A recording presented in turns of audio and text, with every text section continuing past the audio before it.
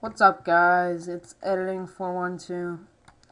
Um, today I'm gonna, I have a little tutorial, it's my second tutorial on this channel, no one really watched my first one though. So if you wanna watch that, check it out. Um, what we're doing today is a cool transition that I made, uh, in After Effects, obviously. Uh, so here, check it out. I made it, it's, it's like a custom transition. Like, I haven't seen it anywhere, so it's, like, really new.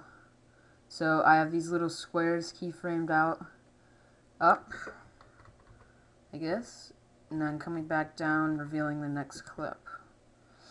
So that looks nice. Alright, so, I'm going to show you how to do it.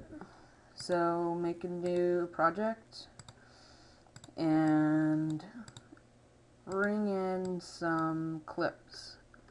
Two clips. Well, if you're already editing them. What was that? So I, I'm that was my read contest entry right there. So, um, drag your clips down. I'm going to make this about 30 seconds long. So, if you're not really good at After Effects, I don't think this is a tutorial for you. Kind of have to, like, know a lot about the program to be able to, like, keep up. So, drag this so it's just goes right into the next clip.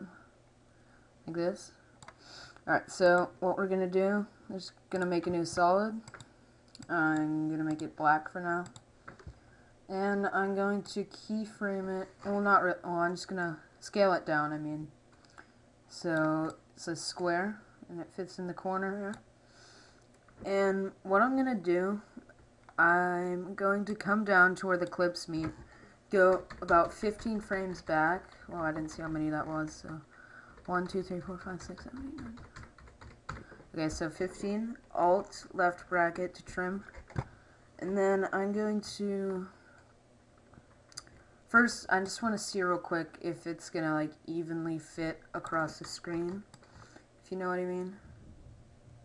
So it doesn't look like it's going to. So I I think I'm going to make it a little bit bigger. Maybe like this. That doesn't look that good. Alright, so I want to see if it fits.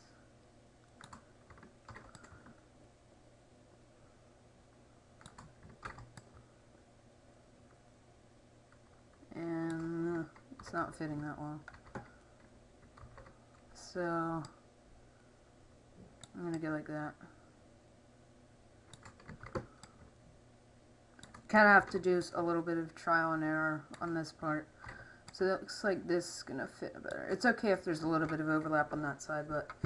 So, we'll stick with that size. So... Wait, hold on.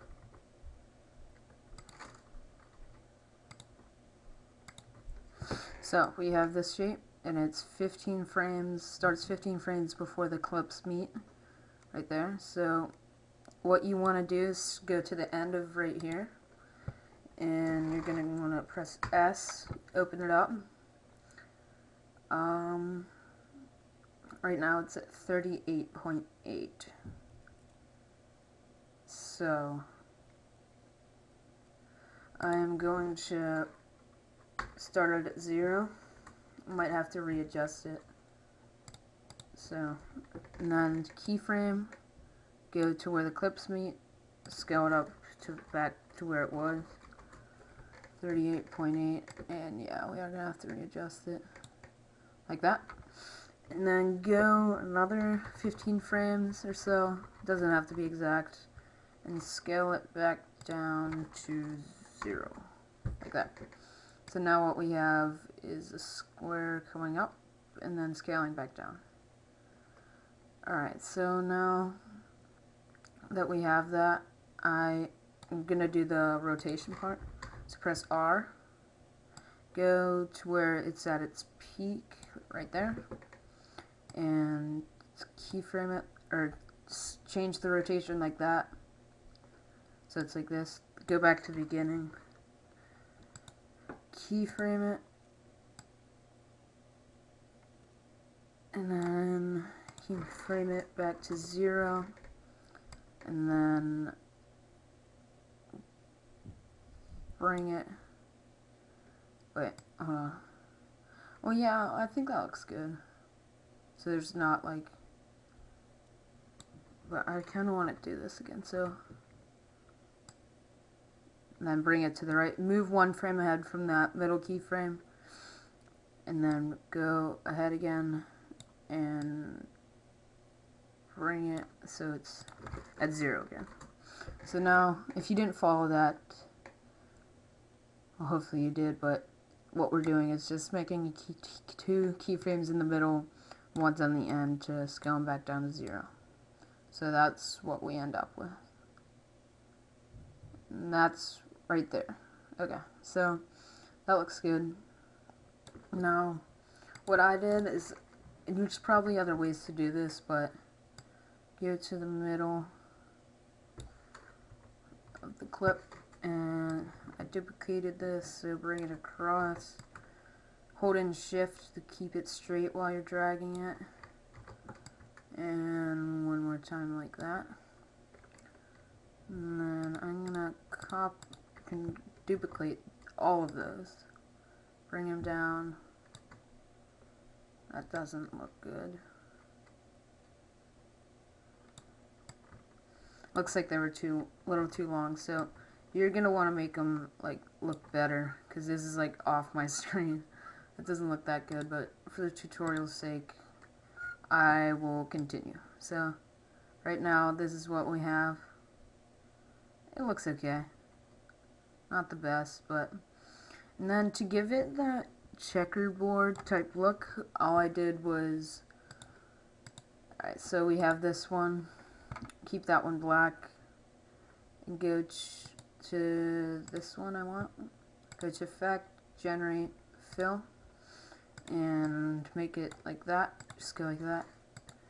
Put it to whatever color you want. So Control C that, copy it, copy the effect, paste it, and do it so it's like a ch checkerboard. Yeah. Alright, sorry guys. My mom was calling me. Okay, so where were we? Alright, so, yeah. And then we're gonna, we're gonna paste that there and there. And now we have that checkerboard look. So, that is pretty much it.